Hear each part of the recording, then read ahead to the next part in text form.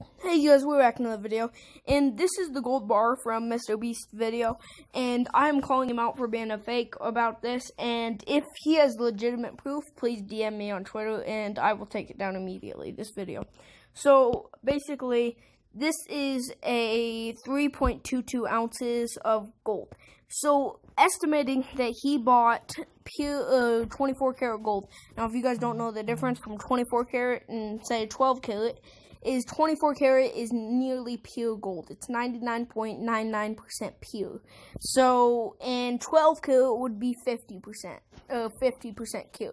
So, it pure. So, it is more expensive. So, I'm just estimating that he did get 24 karat.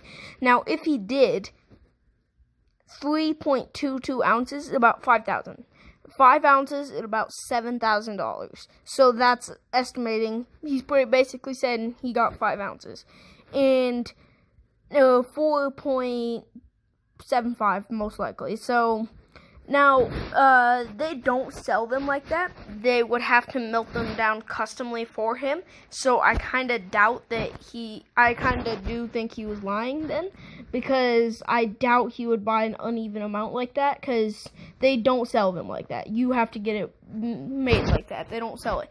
This is 3.22 ounces of it, and it is 2.17 inches wide. So here's how much that wide that would be.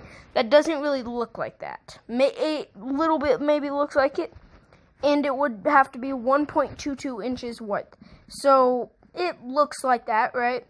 But remember, this is around $5,000 worth of it, not 7 So I do think he didn't get $7,000 worth of it. I think he bought these, the 3.22 ounces, because it is a common thing. It's a 100 gram gold bar. So I do think he got these.